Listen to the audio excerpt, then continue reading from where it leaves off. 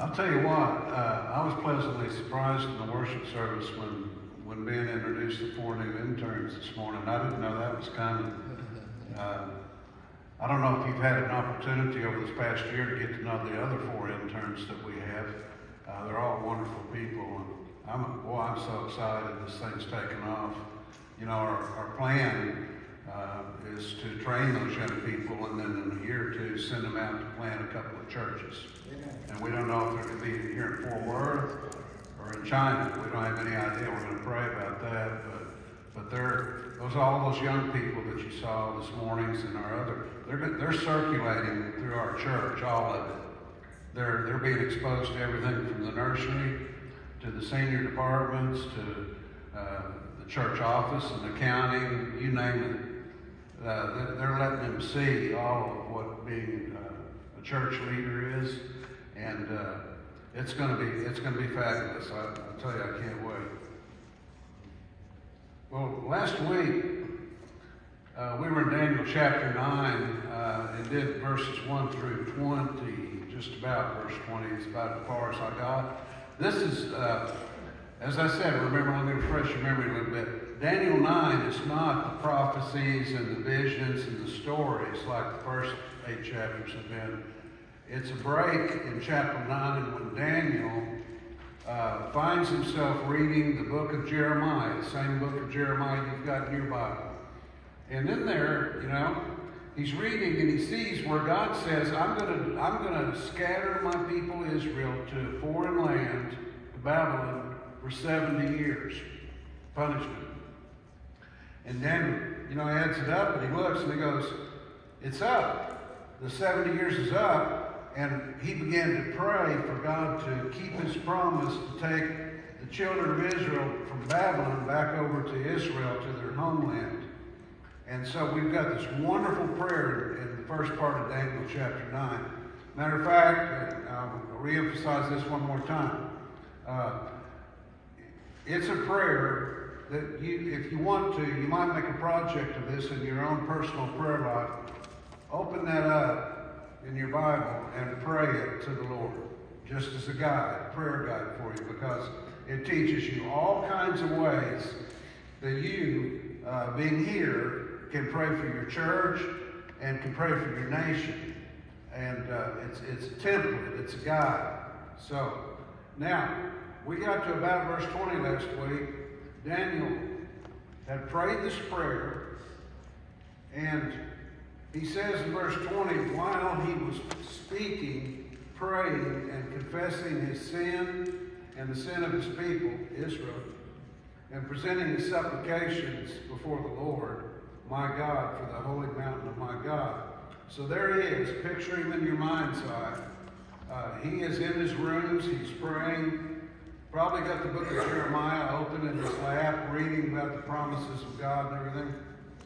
So he's He's right in the midst of it. Now I want you to, I want to call out a little bit of uh, detail to you before we go on to the next verse. While he was praying, I want you to notice what he was praying for. It's something very interesting uh, to all those of you that are conversing with your scriptures, in particular the Old Testament prophecies uh, and the New Testament. When he talks about He's praying before the holy mountain of his God. Do you know what that is? Jerusalem. It's Jerusalem, and it's a specific mountain there.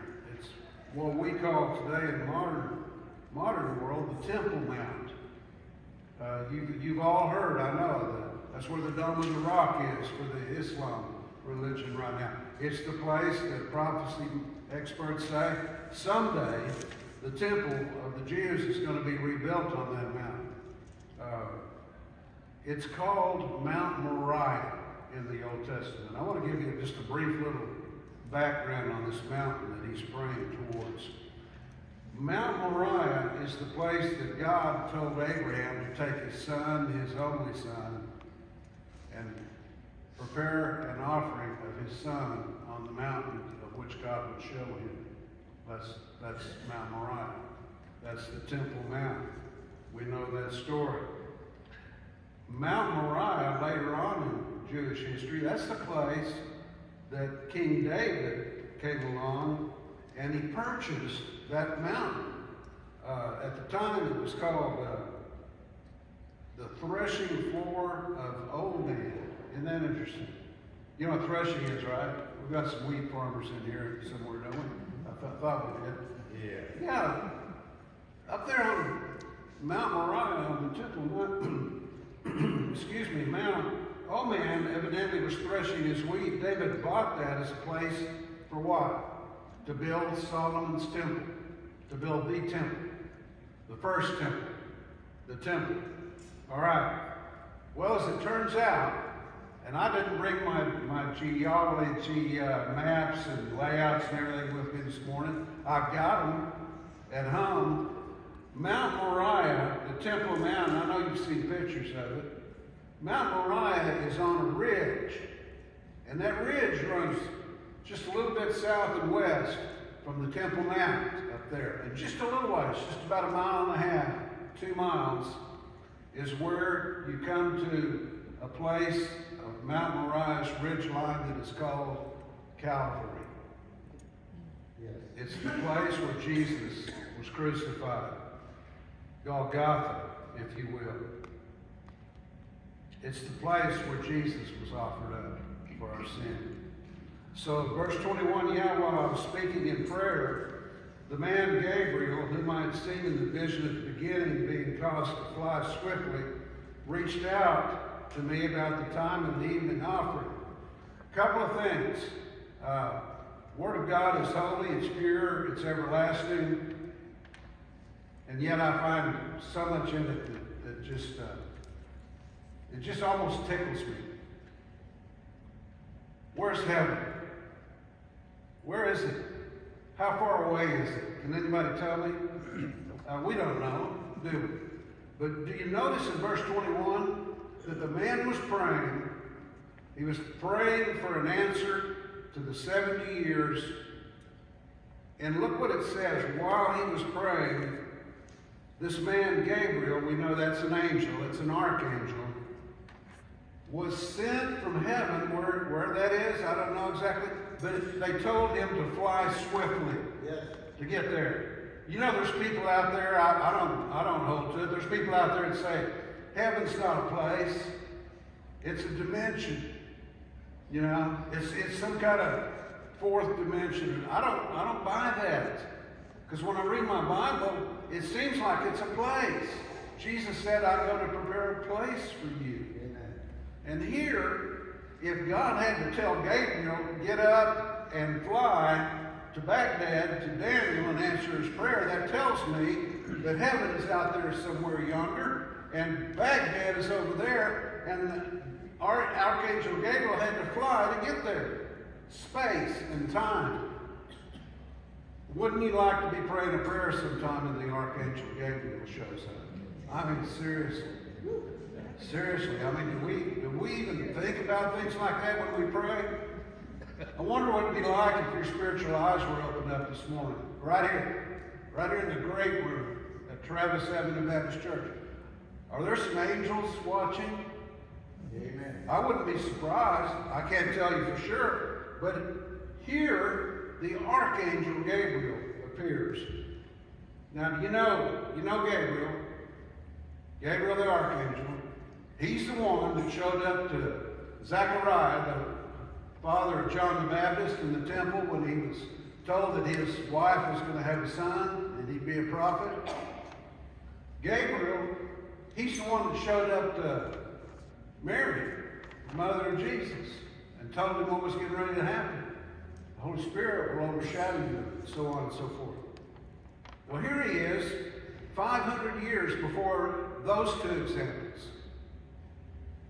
The archangel is sent by God to talk to Daniel, the prophet, about the vision that he had seen previously. And he said in verse 22, I've, I've come forth to give you skill to understand. Uh, file that away, if you will.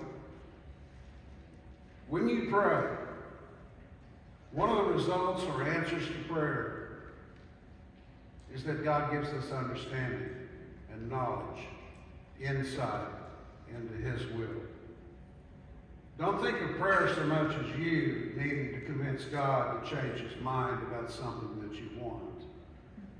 So much as an opportunity for you to enter through the spirit world in communication with our Heavenly Father and allow Him to speak to you about what He's doing in your life, to give you information and insight that uh, you need. As Gabriel calls it verse 22, he says, Daniel, I want to give you skill. Isn't that interesting? He wants to answer his prayers in a way that Daniel has spiritual skill to interpret the Word of God to his people. That 70 years are up, folks, and we're fixing to go home and go back to Israel. Verse 23 is very interesting. Gabriel says, at the beginning of your supplications, your prayers, at the very beginning of your prayers, the command went out. And I've come to tell you, for you are greatly beloved, therefore consider the matter and understand the vision. Uh, friends, that's, if you will, without trying to be flippant, that is a, it, it's an opening for us to see into the throne room of God, to see what it's like in heaven. And clearly, what we can discern from this is this that there are angels attending upon God there, that God is able to speak and command and communicate to those angels. Furthermore, that God cares intimately about what we're going through here in this world. Yeah. When he says in verse 23, when you started to pray, God the Father spoke to me, the angel, and send me to talk to you, to answer your prayers. Now, friends, that'll do something for you. When you say your prayers tonight, consider that. Don't just fall into a rote routine of voicing your petitions and then close your eyes and go to sleep. No. No, there's a whole lot more involved. There's a God in heaven. He's a God that cares. He has angels under his authority. And he doesn't mind sending angels to minister to his servants here in this world. That's what verse 23 teaches us. As I'm switching over to another lesson here, I want to point out to you the last thing about verse 23 is something I've, I've always uh, been moved by, and that is that Daniel is the only prophet that Jesus ever called beloved. And he does it three times in the book of Daniel, and he does it in the Synoptic Gospels that we have today. Now, he loves everybody, and I'm not saying he didn't love Isaiah and Jeremiah and Ezekiel and all the rest. More than we know. But we need to we need to seriously consider what does that mean when God singles out one man, one man that's a prophet, and calls him beloved. What is it about that man that was beloved? What was it that he said, that he prophesied that was special to the Lord? And I want to remind you what that is. Daniel is the prophet of the last days. Mm-hmm. He's the prophet of the great tribulation. He's the prophet of the second coming of Christ, the millennium, heaven, all of it is found in no clearer place in the Old Testament than in the book of Daniel. Uh, things, and I think that's why he's called beloved.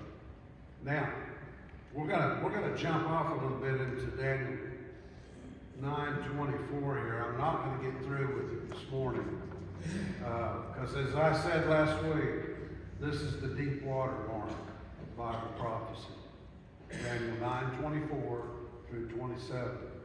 And I'm gonna not hurry through it. Uh, this is the bedrock of all Old Testament and New Testament prophecy. This is uh, several little verses that predict to the day, the day that Jesus would present himself to be king in Jerusalem, that he would be crucified, that he would rise again. We're going to study that in depth here in these passages. Um, if you got your Bible or you're looking at your handout there, look at verse 24, where the Word of God says, 70 weeks are determined for your people and for your holy city. Now I'm going to stop right there. Uh, 70 weeks. Now we're going to explain what that means in just a minute. It's probably not what you think, but it is interpreted for us, so we're going to be okay. No confusion. The point I want to make is pay attention to verse 24 when Gabriel the archangel says, This prophecy that I'm fixing to interpret for you is for who? It's for your people, Daniel. Who are the people of Daniel? That would be Israel, the Jewish people, correct. And what would be the holy city of Daniel? Jerusalem. That's the city where God built his temple. It's the place where his dwelling place is among men. It's the place that his uh, word calls it the apple of his eye. Why am I saying all this about the Jews and about Jerusalem? Why am I doing that? Well, it's because I know you guys are, are readers, studiers, and you watch things on TV and movies and such. There are people that interpret this 180 degrees differently than I'm going to interpret it for you. And I, I, I don't want you to believe it because I say it. I want you to believe it for yourself. I want you to look at the scriptures as we go through these verses and you check me if I'm wrong. You prove me if I'm wrong. But there are people out there today that teach that they've reinterpreted this and say, well, you know what, God, God got mad at the Jews and he doesn't care about them anymore, and so he's replaced the Jews with the church. It's out there. Lots of books, lots of movies, lots of professors. They spiritualize it, they allegorize it, they symbolize it. But I want to tell you something. And this is where I, I challenge you to check me. The Word of God is to be interpreted in a historical, grammatical, clear sense of the Scripture. If the Word of God says it, God means it. That's the way I believe. I don't need some smart person telling me what it's a symbol for. If it says God's holy city, I believe it's Jerusalem because the Word of God 800 times in the Old Testament calls Jerusalem the holy city. I don't believe it's a symbol for the church. I don't believe it's some kind of allegory about some who knows what that's going to happen out there in the future. I, I don't, I don't interpret the Bible that. And I don't think any of us are to interpret the Bible that way.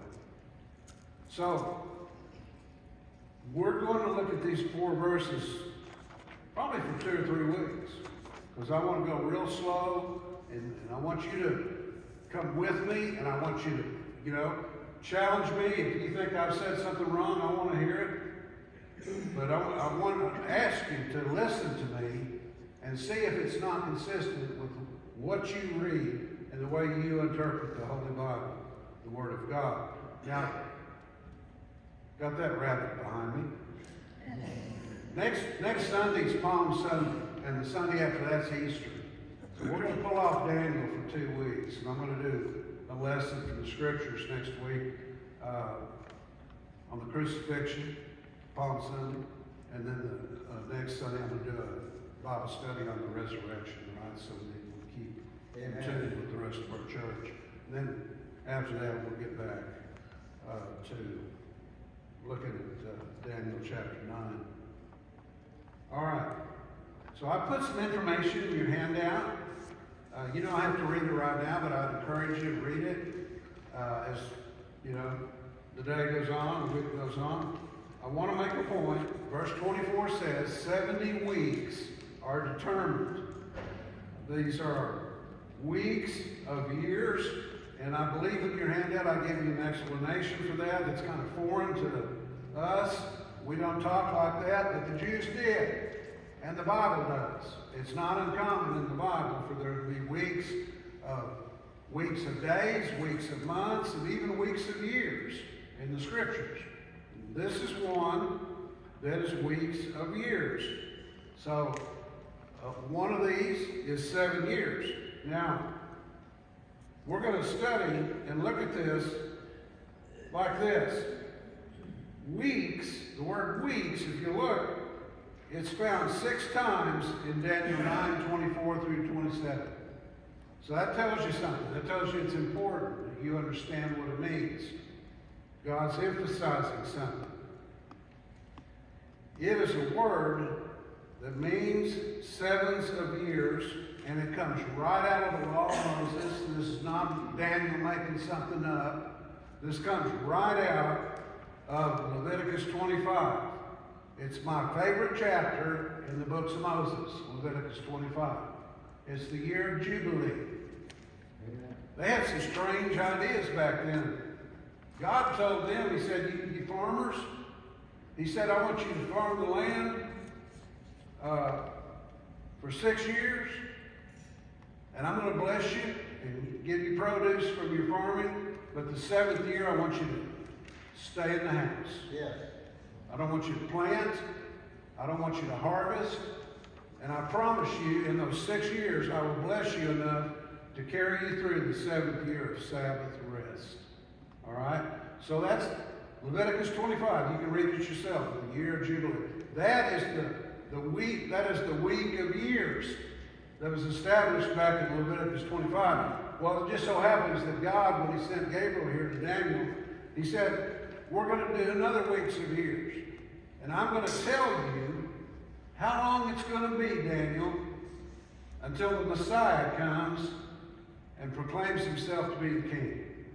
Isn't that amazing? Amen. 500 years later, Christ would come.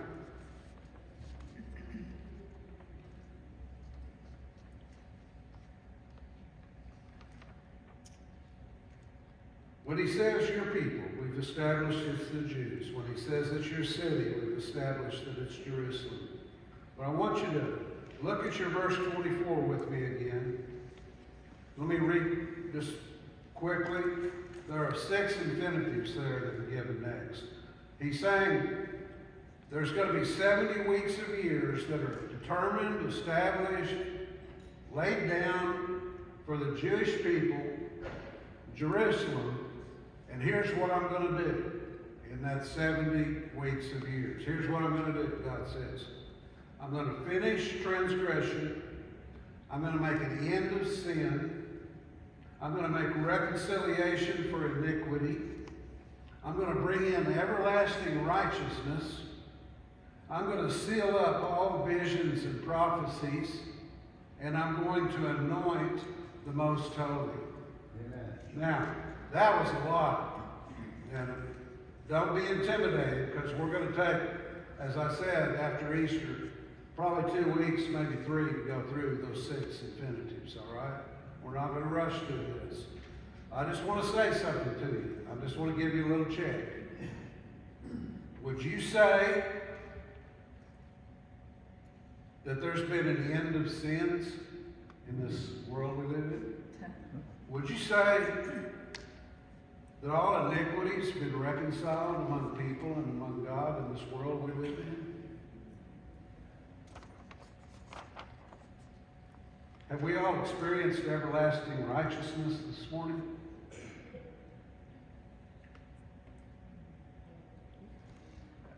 These things haven't happened yet. Now, three of them, the first three, I want to give you a clue. They happened at the cross. Amen. Messiah, Jesus, crucified on the cross, paid for sin, our substitute. Those three were dealt with at the cross. Look at the last three. The first three are the first coming. The next three are the second coming. They haven't happened yet. There's not righteousness among people. Visions and prophecies are still in effect. We are still, look at us right here this morning, standing right here, and we're studying what? Prophecy.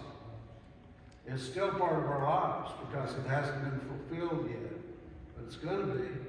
It's going to be sealed up. And then to anoint the most holy. In the Hebrew language, that most holy, you know what it says? It's not the most holy, it's the holy of holies. Yes. You know what that is? The holy of holies? You do, don't you? There's going to be another temple built. Another temple's going to be built on Mount Moriah. And Antichrist is going to come and proclaim himself to be God in that temple. And then our Lord Jesus Christ is going to come at the second coming to destroy him with the word of his mouth. And he's going to anoint the Holy of Holies again and cleanse it, make it pure. So, Daniel 9 24 through 27 are just a, a precursor. Now, allow me, if, if I may, uh, I love history, and I hope you do too. I hope y'all are intrigued by human history and like to read it. I know many folks do.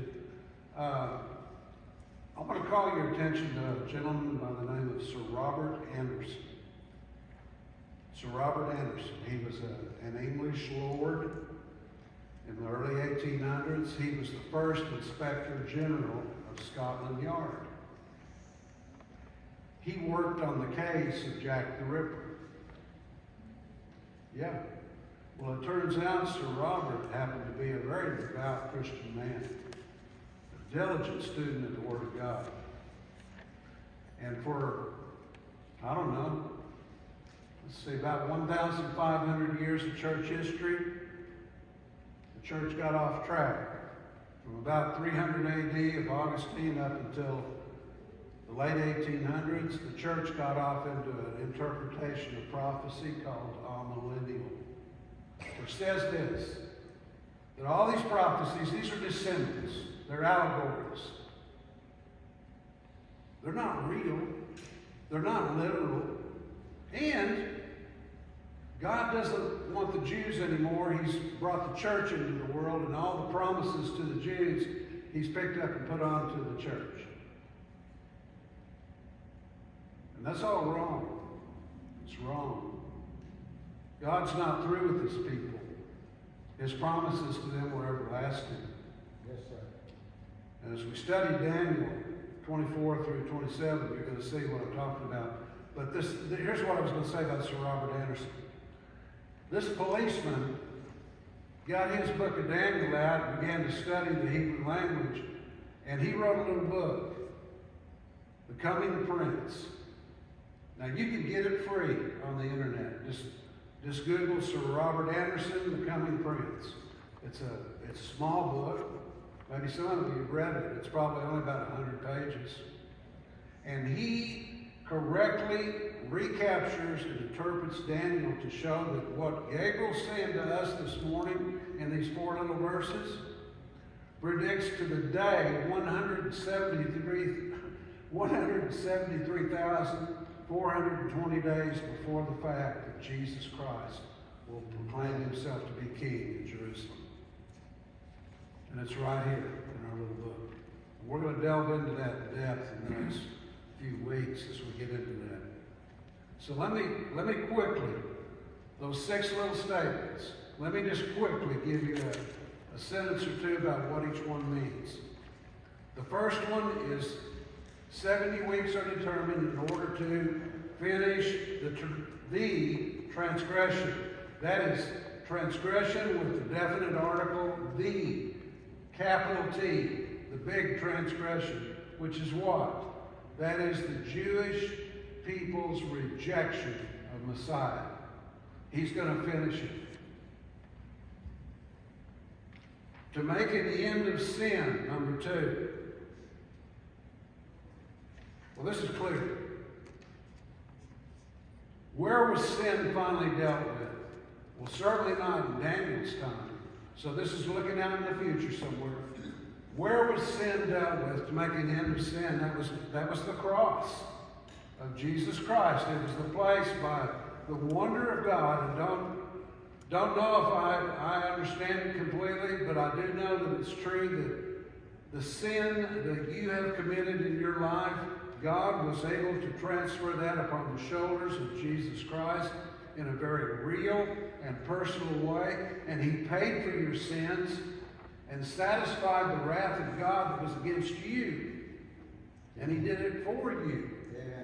The one for the many, right? Amen. To make an end of sin to all those that will trust in Him as their Lord and Savior and Messiah. Number three, to make atonement for iniquity. Once again, the cross.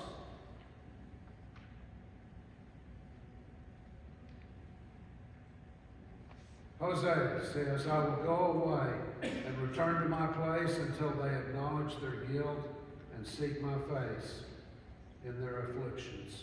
Hosea 5.15. That verse from Hosea means, and it's another prophecy, but it means this. Jesus came. He lived among us. He ministered to us. But most importantly, he came and he died for us in our sin. The Jewish people, in large part, rejected that. They rejected him as their Messiah. Matter of fact, uh, most of them today, the ones that are religious, are they're looking for the Messiah to come. All right? They're still looking for him to come. He's already come. Amen. They're still looking for somebody else. To make an atonement for iniquity is the day when the Jewish people will finally call upon the name of the Lord. And as, what is it, Romans 11, 12, and 13, Paul teaches us, there's coming a day when all the Jewish people will be saved. Next is to bring in everlasting righteousness. Here's the truth. You already know it. You can't make yourself righteous. You can't do it. You might have the best intentions in the world. But I guarantee you, within 30 minutes to an hour, you're going to fail. Amen. You're going to sin. That thought's going to come into your mind. Deed's going to come to your hands. You're going to sin. You can't bring in everlasting righteousness by yourself. The idea that the word bring is here is important because what it means is you're going to be saved. You were saved. You have been saved because Jesus Christ brought righteousness to this world when he died on the cross for us and allowed us to be clothed with his righteousness. It was something I didn't do and you didn't do, but it was brought to you. And when you talk about the day of your salvation, what you're talking about is the day that Jesus Christ gave you something that you did not have, that you did not earn, you did not deserve it. He brought righteousness to you. The next infinitive is to seal up vision and prophecy. And I've already talked about this. You know, there's coming a day when Jesus Christ will be here again. He will rule from his throne of David in Jerusalem. He will govern the world. He will end the great tribulation. He will rule over our world through, through the thousand year millennium. And then when the New Jerusalem comes, he'll be our king and our Messiah and ruler then too. Friends, when he's standing here with us, we're not going to need prophecy anymore. We're not going we're not going to need any visions. Our faith is going to turn to sight. Yes. Seal up vision and prophecy. And as I said earlier, the last one is to anoint the most holy place. You know, this is something that it boggles most Christians' minds. But there's going to come another temple on Mount Moriah. And this is where a lot of people chicken out, frankly. They go, oh, he can't do that. The Muslims have the Dome of the Rock there. They, he can't do that. That's crazy. Friends, it's not crazy. We don't have private information to know how the Lord is going to do it. I don't know. There's some people say that the Dome of the Rock is going to be destroyed. I don't know. There's other people over there in Israel right now at the Temple Institute. They say that's not the place where the Dome of the Rock is. It's over here. We can build it right now, today, and not bother anybody. I don't know what the answer is. All I know is my Jesus in Matthew 24 and Mark 13 said, When you see the abomination of desolation standing in the temple, flee. So, if that's what he said, that means the temple's going to be rebuilt again someday, somehow, somewhere. I don't know Amen. any of it. But that's what this one is. To anoint the most holy place means there's going to be a temple. There's going to be a holy Savior enthroned in that temple in the Holy of Holies. And it's going to be heaven. Amen. It's going to be heaven on earth for all of us. Well, I think we probably better pull it in right about here. Uh, I would encourage you this week in your private Bible reading times, look at John 19 uh, in preparation for our study next week about Palm Sunday. And uh, we're going to talk about the crucifixion of Jesus Christ this week. And the week after that, about the resurrection. Heavenly Father, we pray this morning. We pray, Lord, feeling like uh, in some small way we are just like Daniel, that he was praying to you, and that you heard him, that you cared. You sent Gabriel, Lord, to help Daniel understand. Heavenly Father, we pray now to ask you that we might too be recipients of your grace, insight, that we might have skill, wisdom, and knowledge, Lord, about you, about your ways, about your nature. That we might understand your word, Heavenly Father. Would you illumine us and give us, give us insight, Father, of what it means. We pray and ask you, Heavenly Father, give us faith to believe what we read. We ask that you forgive those among us, Lord, that explain away your word, spiritualize it, symbolize it, and so on. Lord, have mercy.